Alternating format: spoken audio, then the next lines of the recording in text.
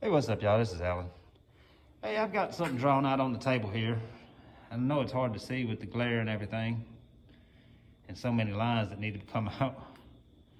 But what I'm doing, I need to make some window screens.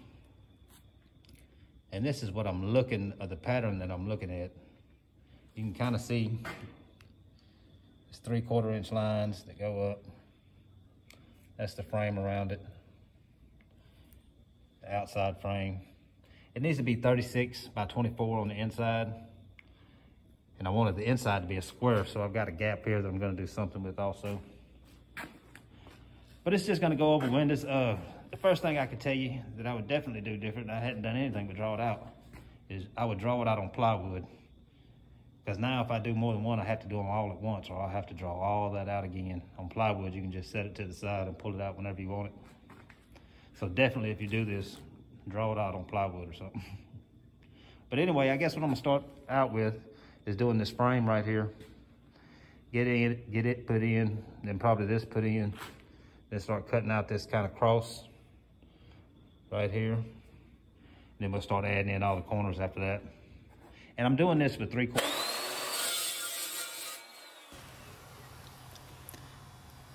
Starting to get everything cut out on a chop saw. This is really better if you have two chop saws. That way you can set uh, the pieces that have one angle on one end and a different angle on the other end. You can set both chop saws to that angle and it works out a whole lot better. I actually was using two of them, but the other one that I had to guard it on there to lock it in, so I was having to kind of clamp it in and this and that. The little slide is messed up on both of those saws. I tried to take them apart and make one of them work, but it's two different. It's the same saw, but it's two different styles. And I kind of got one working, but not very well. But it still gets it done. Just trying to get it all laid out right here. Most of the pieces are just 45 degrees, so it's uh, it's not that bad on the cuts. But a lot of the little pieces did have a different uh, end, a different angle.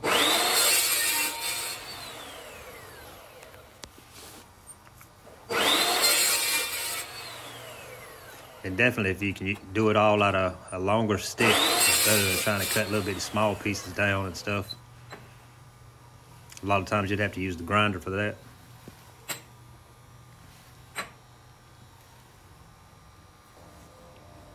All right, I've been cutting some of the stuff out. A bunch of pieces over here, pieces here, pieces there. But uh, I noticed when I started trying to put some stuff together that some of my drawing is off. And this was one of the main ones. It's hard to see in the picture, but this side's actually longer than this side. And it shouldn't be like that. They should all, all these pieces should be the same right here. So what I did, tried to come up with a different way of putting it together instead of redrawing. I'm trying to put these together. Just tacking them up. And I'll get those all put together and then I can go ahead and buff those welds out on there and then start fitting them in kind of see where it goes in that corner. Then we'll come back and fit that in where it goes. It goes right there somewhere. But uh, so the drawing's kind of off a little bit, so we're just gonna make do with it as it goes. And I think as long as I do all these first, that that'll work out, hopefully. I see I got my miters off a little bit already. I cut those at like 21 or something. I thought I was right. I knew it was 22.5 though. I knew it was and I still went against it.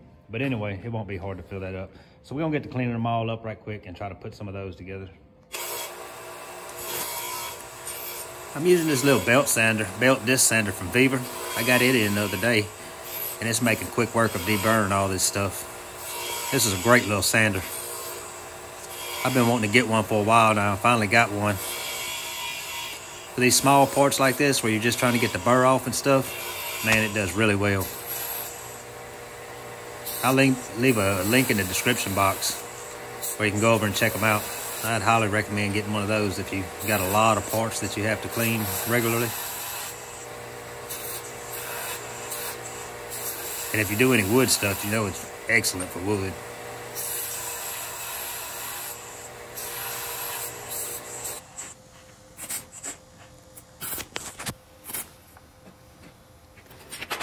Then these just are some of those pieces that go on the inside.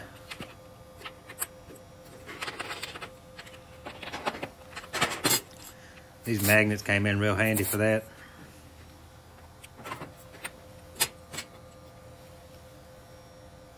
And that's the ones I mean with the different angle. On that outside corner I did first, it's a 45 at a 90. And the uh, inside is cut at 22.5.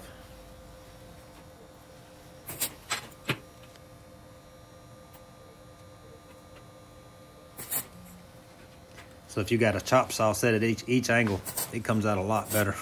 a lot easier anyway. All right, all that's working out pretty good. It's just kind of sitting in there right now. These will still come out. But I think that'll actually work out better than what I was originally planning. Because now I can weld all these pieces out and go ahead and buff these welds, the ones that's gonna be hard on the inside, get them knocked out. I'm probably not gonna weld. This is going on the inside, so I may not weld these inside ones since I ain't gonna have to worry about water getting inside it.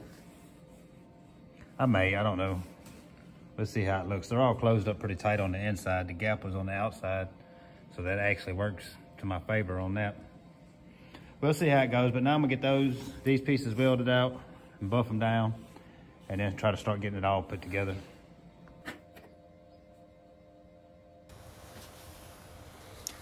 These are the little small parts on the corners that's actually holding all that into the frame.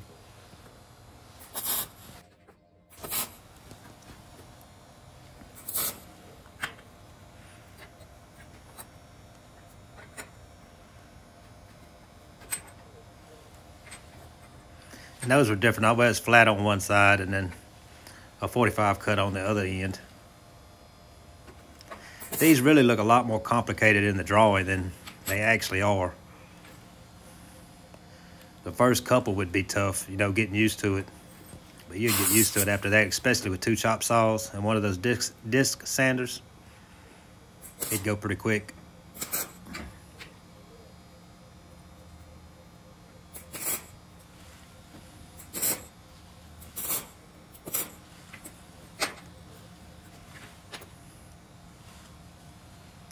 I was trying to get some footage of putting these little squares together, but after the third time I cut them wrong, I kind of got aggravated and just went ahead and finally got it done and said, screw it. I kept measuring to the outside when I should have been measuring to the inside. And I don't know. Sometimes it just doesn't work out. but it finally did after the third time. That's almost all of it there, trying to get it in. It still has to be welded out both sides.